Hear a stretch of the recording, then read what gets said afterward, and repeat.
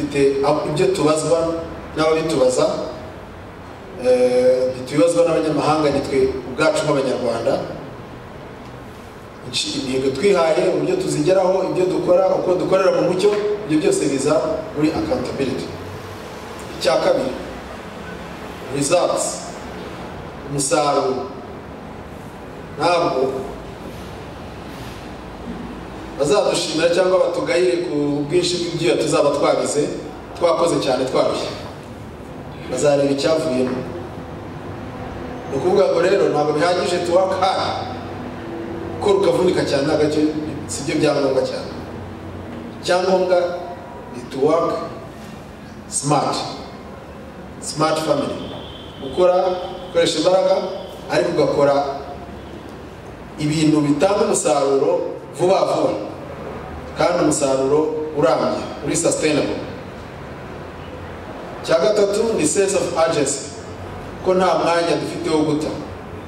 Ni byinshi dutegerejweho kandi byinshi biri mu bushobozi bwacu. Hari ibizasaba ubushobozi bundi dushobora kuba dufite cyangwa twashaka cyangwa ntitunabubona ibyo ntawe uzabitubaza. Tuzagaragaza ko twari dufite ubushake tukabura ubushobozi. Ariko hari ibyo dufitiye ubushobozi. Habura ubushake gusa. Niduhuza ubushake n'ubushobozi.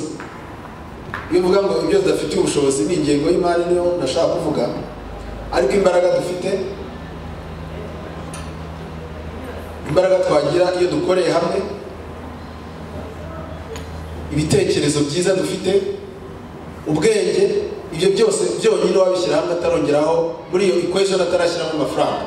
Hari byinshi ahubwo ibyo byose ni byo bivamo amafaranga.